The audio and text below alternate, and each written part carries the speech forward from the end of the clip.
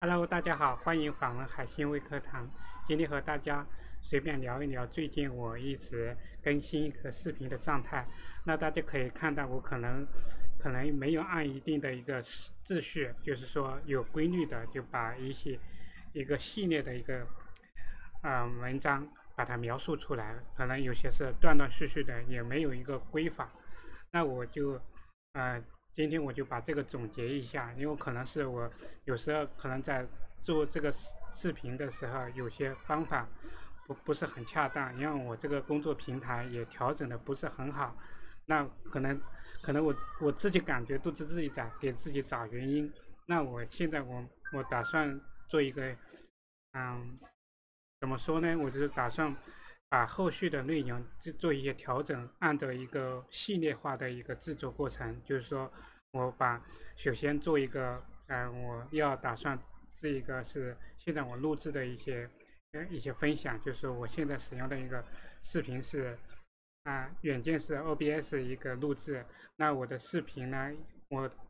这两天我尝试的使用那个音频啊调试的工具进行一个音质的调试，但是我。那自己本来缺乏这方这边的知识也比较多，所以总是觉得有一些调试总是不是很好。我在上扬期，我刚刚加了一点点背景音乐，把那个声音调制的稍微小一点。那调制稍小一点，我感觉效果应该，哎，马马虎虎的。但是我还很多功能还是不是很熟练，也是也有些有些东西也不是也不知道怎么调。那我就最近就一直在观看 YouTube 像那个关于音质调整以及一些啊怎么把工作平台录制的工作平台更高效、更更快速的一种方法。那我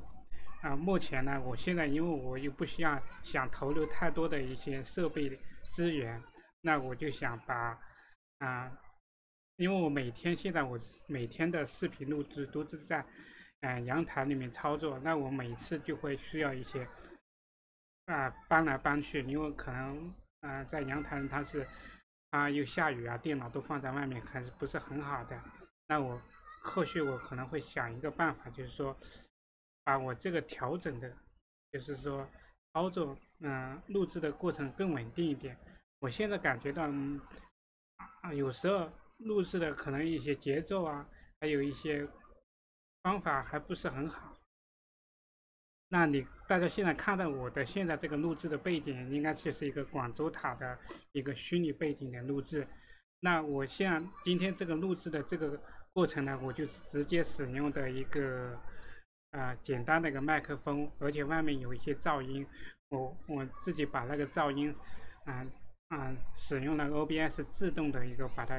啊过滤掉的一个噪音技术，然后。